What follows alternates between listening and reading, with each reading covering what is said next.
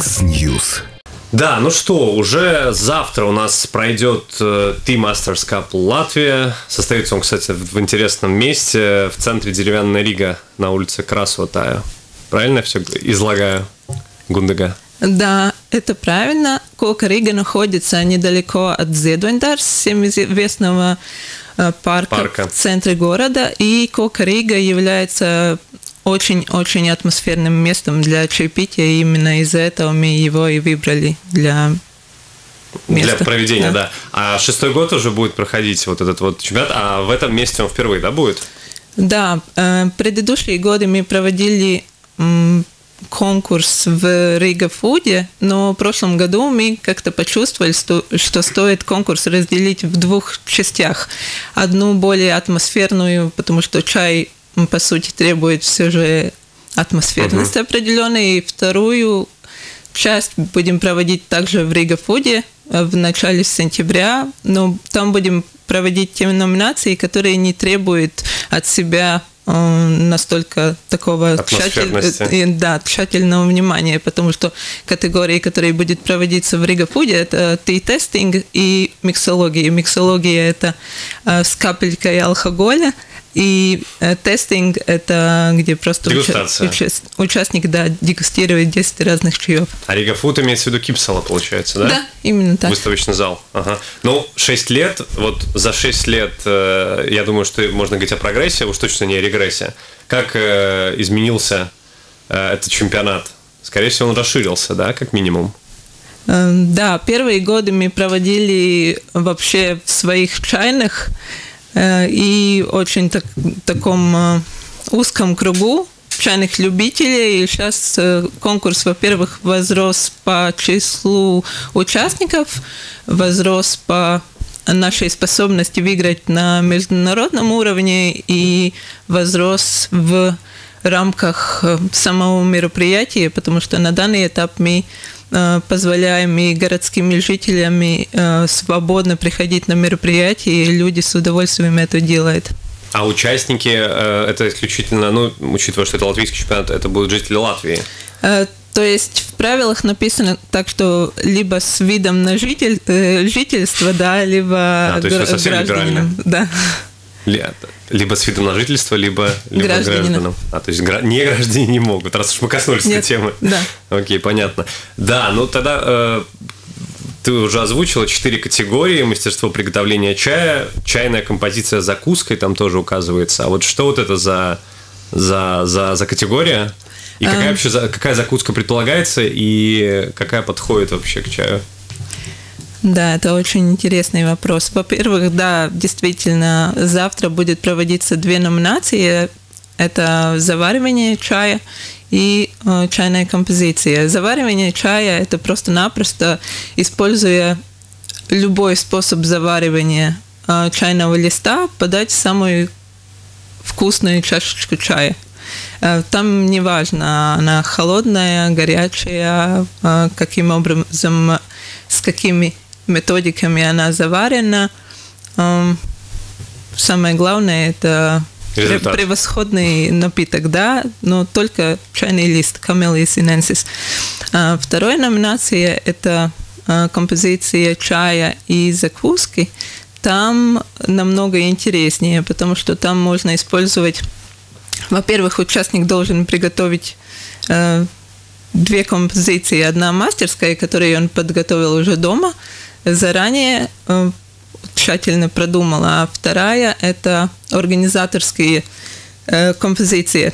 Э, там имеется в виду, что в предыдущий вечер, то есть уже сегодня вечером, участникам выдаст черную коробочку, ну, secret box. Черный ящик. Э, да, э, в котором будет неизвестные продукты, заранее невиденные, и из этого у них надо быстро сообразить, что, что такое... кулинарные способности да, подключаются. Что такое интересное от этого приготовить Ну, например, и подать к вот чаю. пример. Например, коробочка может быть разные сухофрукты, орешки, э, морские водоросли, разные крема, что угодно, йогурт, сыр, неважно. Ну, то есть разные пищевые продукты, от которых вместе надо сложить интересную э, композицию, которую можно закусить чаю. Ну, это, это вообще, ну, как бы, не, не, как бы сказать, не завышенные требования к чае ведам и мастерам по чаю, потому что а здесь подключаются уже такие кулинарные способности, получается, да? Эм, это правда, что подключаются кулинарные способности, но поэтому человек, который участвует в конкурсе, он может выбрать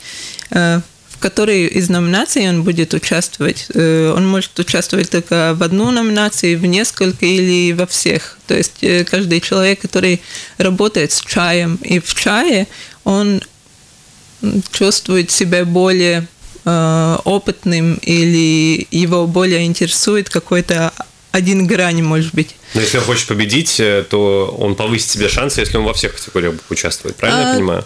Тоже не сказано, потому что иногда стоит хорошо подготовиться к одной из номинаций и э, Сделать не, акцент на Да, не тратить одну. свои силы на, на другие, если ты совсем уверен, что ты не настолько разбираешься в этом вопросе, да? Ну, получается, что вот если говорить о судьях и жюри, то их работа делится на две части. С одной стороны, они будут, э, они будут оценивать субъективно, ну, объективно, но все-таки э, сами оценивать какой-то эстетический момент, а с другой стороны, то, что касается дегустации, там все как, э, я не знаю, по факту. Человек угадал или нет, правильно понимаю? Именно так, да. И причем тоже судим оценивание Э, делится на несколько частей. Они оценивают и визуальное проявление, и способность человека обосновать свой концепт, и э, непосредственно уже э, вкусовые ощущения. Да, но вот, кстати, когда вы однажды приходили к нам в эфир, по-моему, два года назад, вместе с вашим коллегой Андреем Ивановым, он рассказывал, он тогда стал победителем на китайском на, чемпионате, ну, да. всемирном, да, это да. получается, всемирном чемпионате по чайной церемонии. Он рассказывал тогда, что вот выступление, вот эта вот чайная церемония сопровождается э, твоим объяснением. То есть ты все делаешь и параллельно ты говоришь в микрофон, который у тебя прикреплен. Да. Сейчас у вас тоже так это происходит? Э, именно так. И это, конечно, ставит некоторые такой дополнительную ответственность на участника, потому что чайные люди в основном достаточно тихие по да, природе. Да, вот о чем я говорю. А тут а, надо оратором стать. Да, и поэтому в самом-то деле в городе наблюдается, что есть такие чайные мастера, которые, по сути, глубоко разбираются в чае, но в конкурсах не участвуют, потому что это все же э, тебя э, снимает, ты разговариваешь в микрофоне, на тебя свет и внимание, и это не, не всем не всем нравится. Ну а что, что вы об этом думаете? То есть это же получается немножко так, ну не то чтобы несправедливо, но как будто бы не до конца этот чемпионат э, проявляет все вот это мастерство. Потому что определенная часть людей, которая действительно свойственная вот чайным да. любителям, ну, быть с таким человеком больше в себе, может быть. Угу. Или, по крайней мере, с тенденцией быть в себе. Они отрезаны, получается. Э, во-первых, тогда стоит э, понять э, концепт чайного турнира, потому что изначально он э, в России, когда зарождался, он зарождался как такая платформа обмена э, знания и э, коммуникации э, людям, которые занимаются в чайном отрасли, да, то есть это в э, самом-то деле платформа коммуникации. И если ты воспринимаешь это больше не как конкурс, но как э, платформу коммуникации, когда ты встречаешься с чайными людьми, которые ты иногда весь год не видишь, и видишь новые рецепты и какие-то новые э, новые идеи, тогда uh-huh. это очень хорошо работает. А если это ты принимаешь как гонку за местом, тогда это, конечно, на тебя накладывает другой какой-то груз уже. Да, то есть это, что... это не то чтобы соревнование, это не победа, здесь важно другое. Потому ну, что выигрывает, э, выигрывает э, совершенно все. В самом-то деле, просто участвуя в такое, потому что это, во-первых, э, совершенствование тебя как личности, ну, ты, отрабат... да, ты отрабатываешь какие-то такие навыки, которые ты в ежедневном э, употреблении чая, даже как чайный мастер, не отрабатываешь, потому что ты отрабатываешь на публику. И еще очень важная грань, что мы все же с этим чемпионатом отбираем какие-то люди, которые, может, в дальнейшем эм, публично презентовать чай. То есть и такие люди очень нужны, и эти чемпионаты их э, помогает отбирать и угу. вырастить. Но иногда. не могу не спросить, э, вот вы сказали, что все выигрывают, но шесть человек э, победителей, они получат право участвовать не шесть?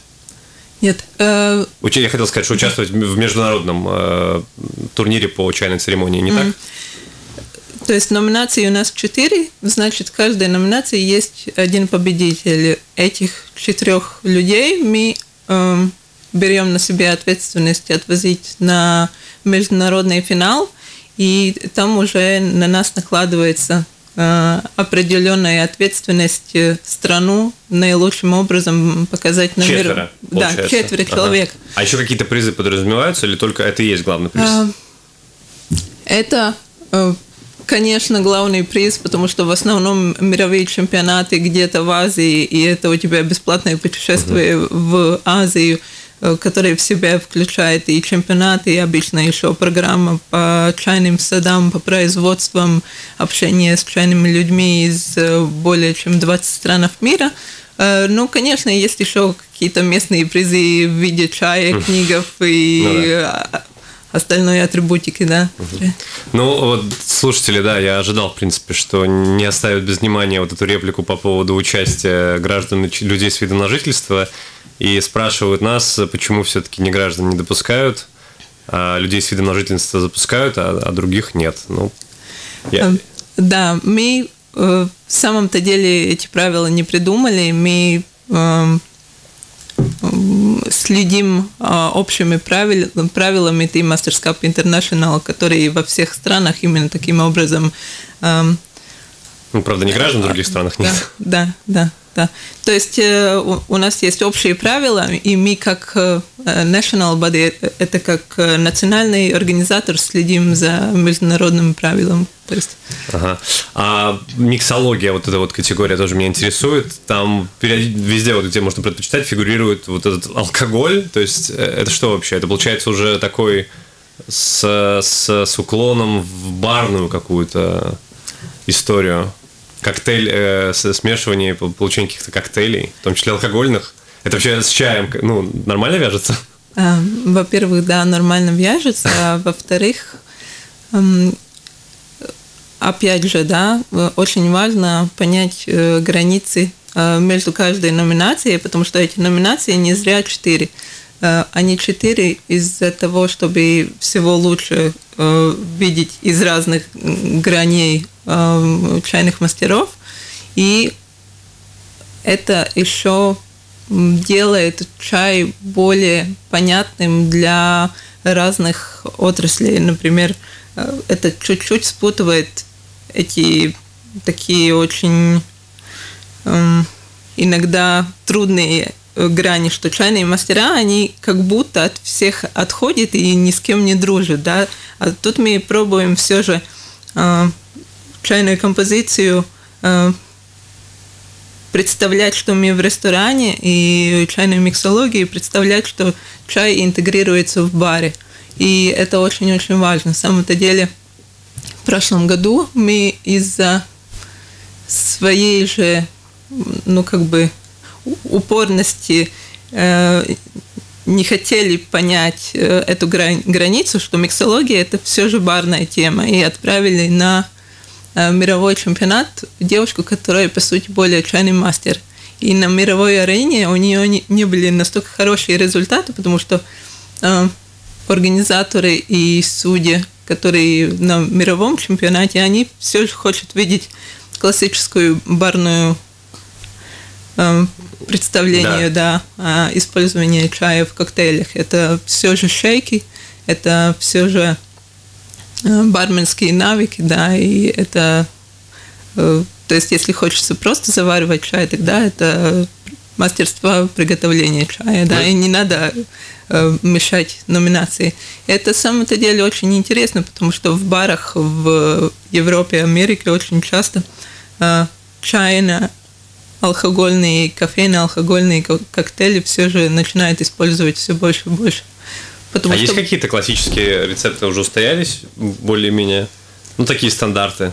эм, чая с добавлением алкоголя? Во-первых, эм, старается все же в рамках чемпионата эти рецепты не повторять. Я а, даже имел в виду не в рамках чемпионата, а в целом среди ну, потребителей такого э, продукта. Да, ну, конечно, есть там классика с черным чаем, ромом и такие дела. Но, бальзамами? Да, с бальзамами. Но все же больше в чемпионате мы стараемся да, новые-новые рецепты, новые-новые грани как-то развивать. Экспериментировать. Да. Но я так понимаю, что вот даже в течение этих шести лет, когда мы вот в этой активной э, чайной фазе пребываем в Латвии, уже достаточно много есть призеров и победителей и на международной вот этой арене по чаю. Получается, ну, можно сказать, что Латвия в этом плане там выделяется, по крайней мере, на фоне вот там соседей. В России, ты уже упомянула, в 2013 году все это было запущено. Значит ли это, что Россия тут занимает тоже какое-то видное место? То есть и, и, откуда у нас вот эти вот навыки? Все-таки нет какой-то великой чайной традиции, как будто бы? Um, это самом-то деле очень интересно. Да, сейчас на обучение судей приехал главный судья из Москвы, Денис Шумаков, и он как раз отмечал, что вроде такая маленькая страна Латвия, да, и страны сейчас в чемпионате участвуют уже около 20 или больше, потому что в этом году опять новые и новые добавились. Я уже Страны. Да, потеряла счет. Но Латвия э, как-то удивительно хорошо выступает. И мне кажется, что это как-то связано с тем, что латышам есть какая-то внутренняя правильное э, ощущение э, пропорции красоты, инновации и ну, как-то наш, наша природа очень-очень хорошо интегрируется в этом чемпионате, потому что есть такие чайные страны, которых очень много людей живет, например, та же самая Турция, которые просто по сути их ощущение понятия чая никак не интегрируется в этом чемпионате. Они могут участвовать сколько лет подряд, и никак ни одно место никогда не займет, потому что, во-первых, они пьют с сахаром, они пьют такой чай, как они пьют, и как они пьют, и они никак... А сахар это э, сразу э, Нет, красный цвет? Э, не сказано, что сахар это красный цвет, но, например, когда э, чаек просто с сахаром и закуски пахлава, это не до конца то, что судьи максимальными балл, баллами будет да, ну, Получается, оценивать. вот Ближний Восток, он таким образом отрезается, потому что это Турция и все, что вокруг mm, тоже, или нет? Э, нет, потому что, например, сейчас в этом году Иран запускает, да, у них вообще участников, э, организаторы говорили больше, чем 80, у них три дня происходит, там очень-очень развита тоже эта тема. И у них как-то все же люди, которые работают в чайной индустрии, у них есть классика жанра, и есть какие-то люди, которые м, стараются копать глубже, да, и Потому что когда происходит мировой чемпионат, мы же не можем смотреть просто в рамках национальных, да, потому что нам более интересно то, что на мировом арене происходит. И, и на мировом арене м, очень важно видеть разнообразие, но классика всем уже более-менее поднадоела, да, потому что есть э, даже слоган чайного чемпионата – это э, инновации и э, перфе... Э, перфекционизм? перфекционизм, да. А либо сейчас, либо да? ты идешь да. в перфекционизме в классике, либо, либо, ты, экспериментируешь. либо ты экспериментируешь, да они как-то не до конца отрабатывают и просто делают, а как что делают. сейчас в авангарде экспериментаторства чайного? Ну, так примерно, последний год-два. На самом-то деле я, я хотела бы видеть что-то, что меня сильно удивило. Ну, до сих пор там играет с жидким азотом, разными холодными завариваниями а, кофейных сифонов до, до сих пор э, интересным образом используют. Потом Это, это как? Э, кофейные сифоны. Это, ну, кофе это не метод, что они просто используются Да, да, да, используется а, аппарат, который, да. аппарат, который обычно используется для заваривания кофе, используется для заваривания чая.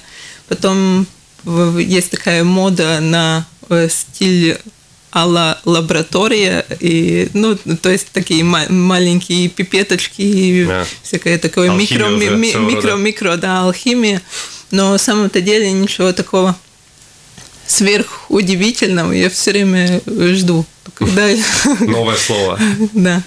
Но, кстати, вот эта вот э, любовь Латвии к чаю подтверждает и даже опросы, самые обычные. Вот на последний, который мне попадался на глаза, он, правда, пару лет назад был э, проведен, я не думаю, что за это время что изменилось. Он показывает, что Латвия вот строго чайная страна, если выбирать между чаем и кофе, ну, это классическое черно-белое. Но, по крайней мере, больше процент людей э, сказал, что он предпочитает этот напиток. В то время как в Эстонии 50 э, на 50 примерно, а Литва, наоборот, строго кофейная страна.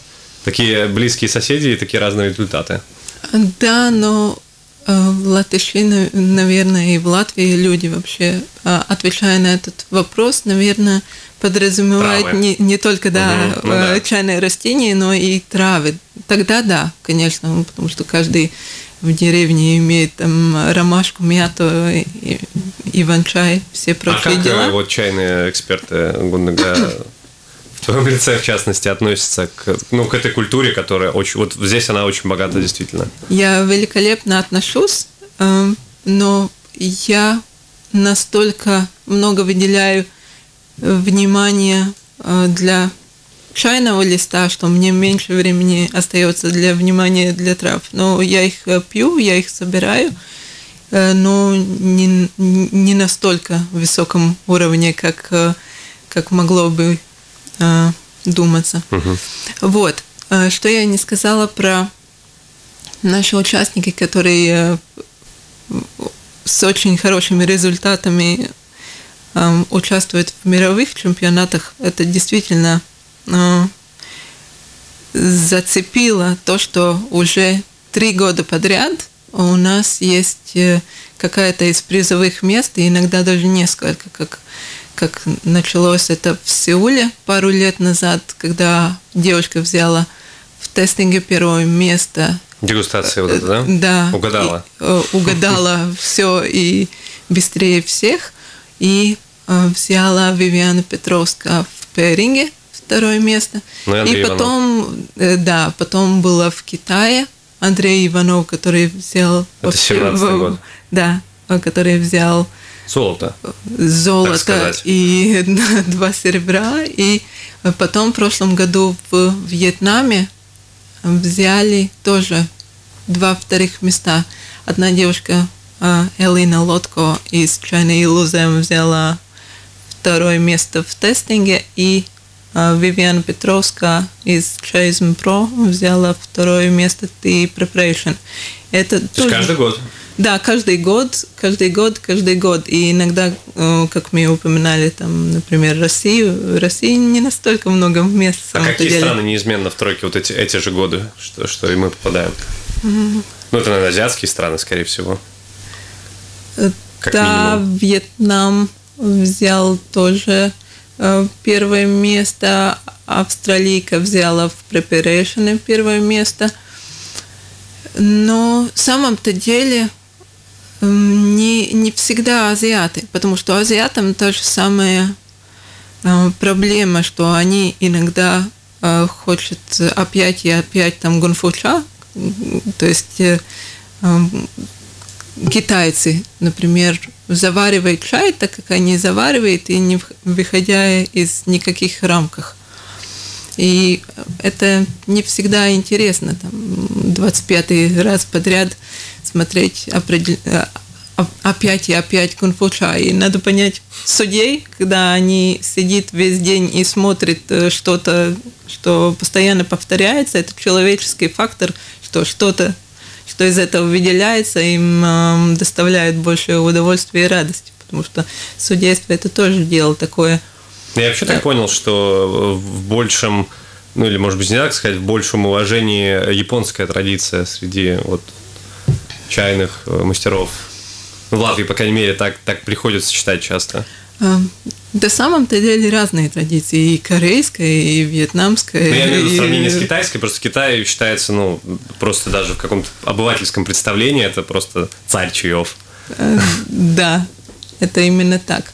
Ну, мне кажется, что людей, которые глубже разбираются, им интересно как раз эм, менее известные э, народы, которые заваривают чай, там, Непал, Монголия, да, то есть э, изучать то, что менее известно, да, потому что Китай это когда на самый обычный чайный домик ходишь, тогда ты видишь эту чайную досочку с фигурками, маленькой посудицей, да, и это, это уже такая а, обычная тема достаточно. Но турниры происходят, они вот э, страны меняются, но это все азиатский регион. Я имею в виду э, чемпионат мира. Вот смотрите, в прошлом году добавилось, а, как уже упоминала, Иран, добавилась Индонезия. Я имею в виду место проведения. А место проведения, да. они стараются в основном эм, выбирать чайно производящие страны. Я предполагаю, что это из нескольких факторов. Из-за того, что они э, достаточно богаты, чтобы э, принять в гости настолько большое количество людей, потому что э, это около 150 человек из всего мира. Такой достаточно большой, емкий чайный праздник. Во-вторых, конечно, тем людям, которые выступают от стран Европы, сейчас еще Канада, Америка, да, им все же хочется в рамках чайного чемпионата еще посещать чайные сады, чайные производства. Которые там которые, которые там представлены, да. Конечно, э, я предполагаю, что вот в этом году добавилась еще Канада, Америка, что э, Америка достаточно большая страна, и когда, когда-то они э, будут способны принимать чайные чемпионаты у себя, и в самом-то деле там есть даже некоторые места, которые производят чай. Поэтому... Неудивительно, в принципе, да. в Америке по-моему. Но вот я думал о своих каких-то чайных, э, чайных впечатлениях, историях. Я, в принципе, там такой достаточно классический обыватель, потребитель чая, но я вспомнил, как э, однажды мне мой польский друг э, дал попробовать чай из бразильской ягоды асаи. Это какая-то загадочная ягода, может быть, вам известно вот об этом. И, и просто это ну, преподносилось как что-то такое редкое. Я хотел спросить просто, насколько вот латвийским мастерам и, ну, соответственно, потребителям доступно, сегодня доступен уже любой чай – там, наверное, при помощи интернета и всего прочего уже можно все что угодно заказать, или есть то, за что, за чем вы гонитесь, и что являет, и представляет такую ценность сиюминутную, вот, или сиюсекундную даже?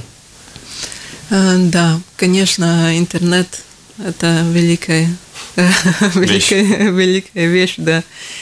И в самом-то деле, если мы говорим непосредственно о чай-чай, которые не разные ягоды и травы, которые просто интересные из разных уголков мира.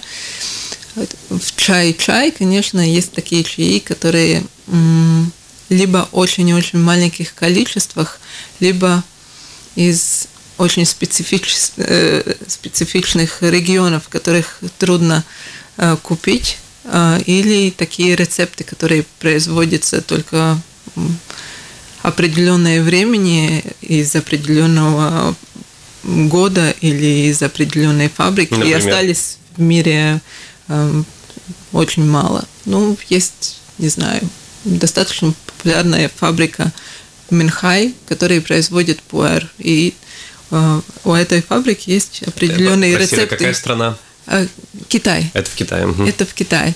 Есть определенные рецепты э, этого пуэра, которые на рынке стоят уже по пару тысяч по десятки тысяч э, долларов по 357 граммовые блинчика.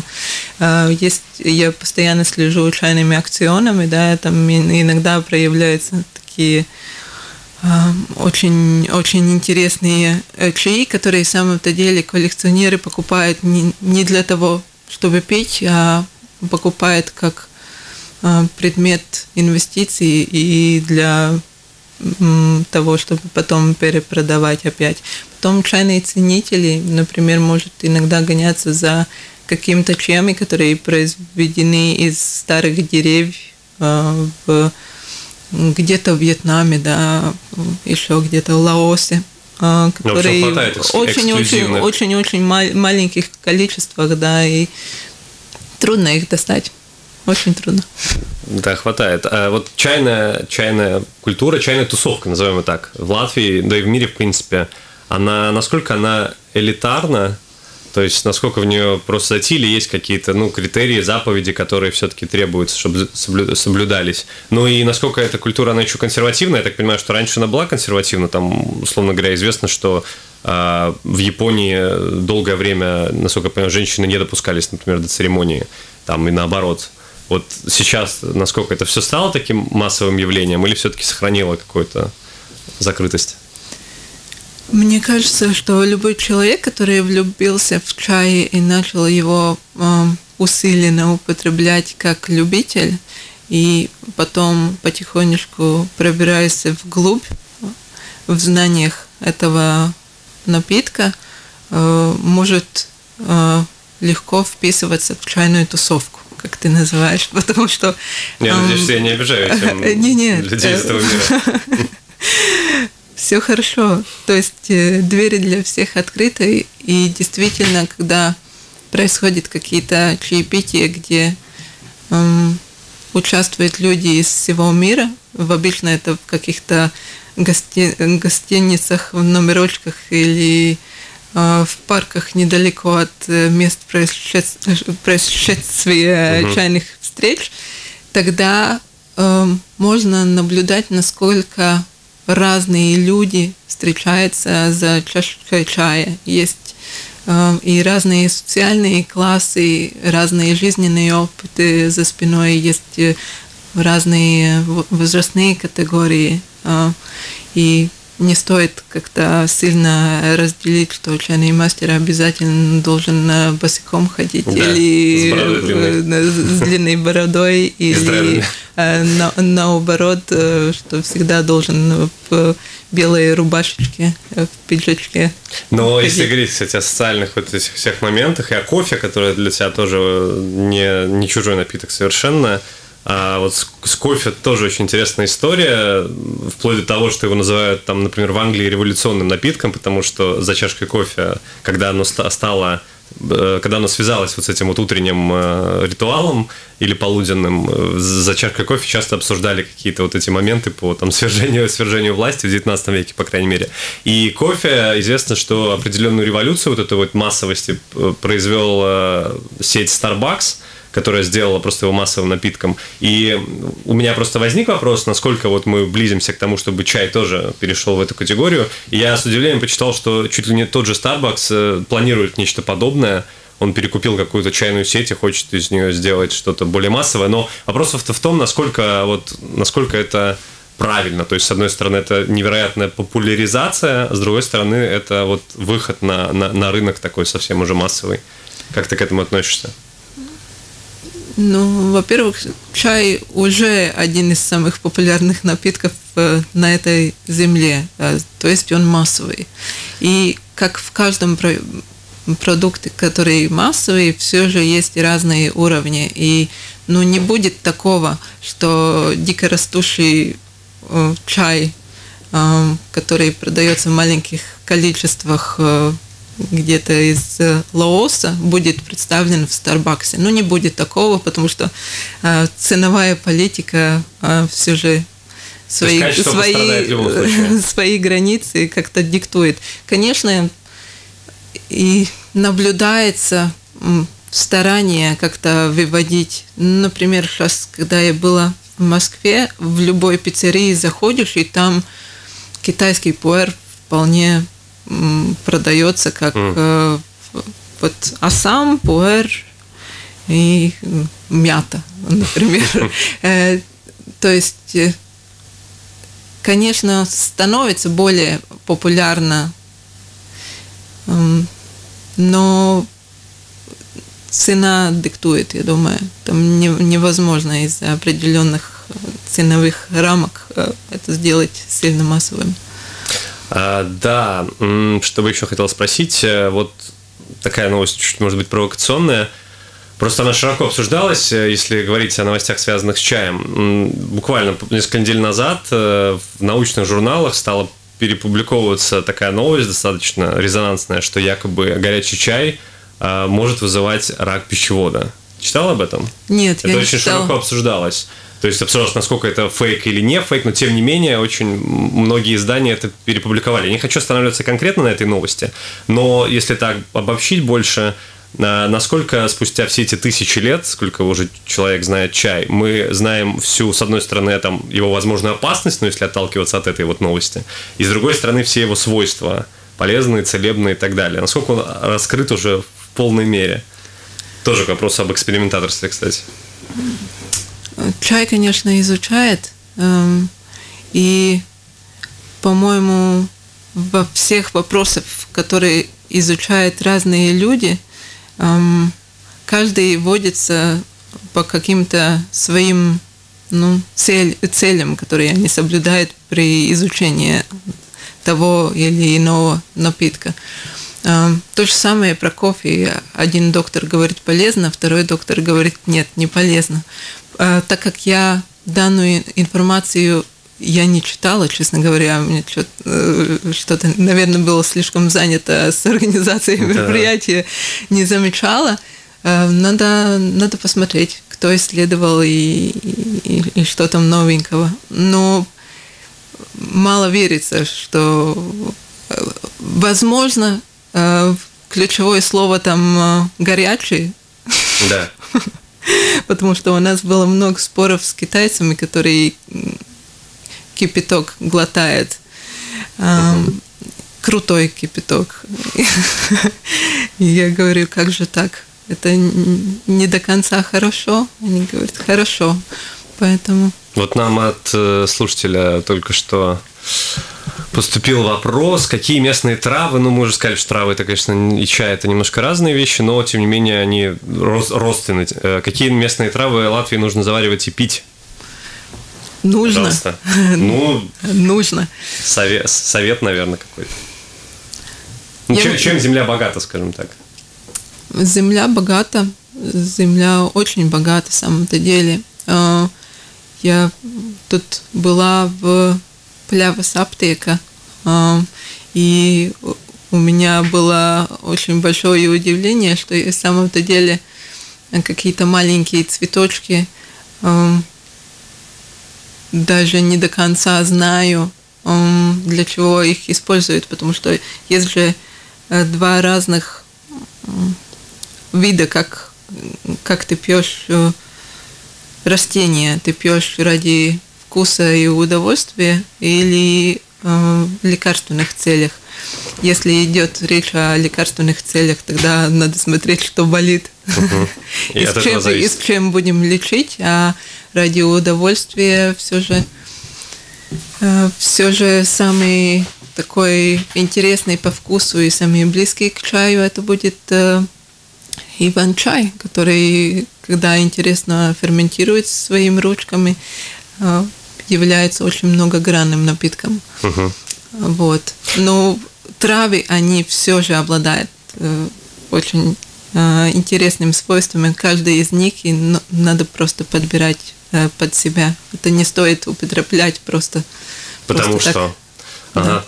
Да. да, пора нам заканчивать. Еще раз напомним, что завтра уже начнется э, чемпионат по чайной церемонии Ты Cup Латвия. Он пройдет в центре Деревянная Рига на улице Красотаю. Ну и второй этап э, с 4 сентября только начнется. Осенью это Рига Фуд, там будут другие категории, и вход открыт для всех, я так понимаю, там никаких вход ограничений от, нет. Вход открыт для всех, э, в любой руба, рубашке, босиком, не босиком, э, и вход свободный, и эм, легче всего найти улицу Красотаю, проходя через прекрасный парк Зедондарс. Спасибо. Гунда Гасылнец, основатель Латвийского чайного общества, был у нас в гостях.